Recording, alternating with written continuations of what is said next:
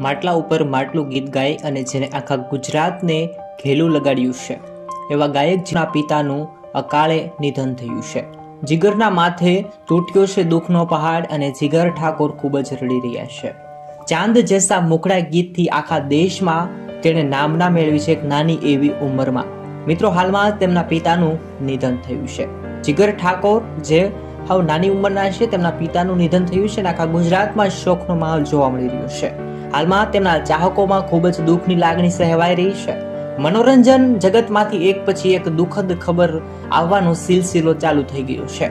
બોલિવૂડની જેમ ગુજરાતી ઇન્ડસ્ટ્રીમાંથી પણ હાલ દુઃખદ સમાચાર સામે આવ્યા છે, જેને જાણીને ચાહકોમાં આઘાત લાગ્યો છે. આઠ વર્ષની ઉંમરે પોતાની ગાયકી શરૂ કરનાર જીગર ઠાકોરે પિતાના અકાળે અવસાન થયાના સમાચાર સામે આવી રહ્યા છે. પાંચ ડિસેમ્બરે પિતાએ રોજ અવસાન થયું છે અને હાલમાં જીગર ઠાકોર ખૂબ જ નાની ઉંમરના છે, સૌ લોકો જાણે છે અને લોકપ્રિય બની નાની ઉંમરમાં લોકપ્રિયતા મેળવી છે.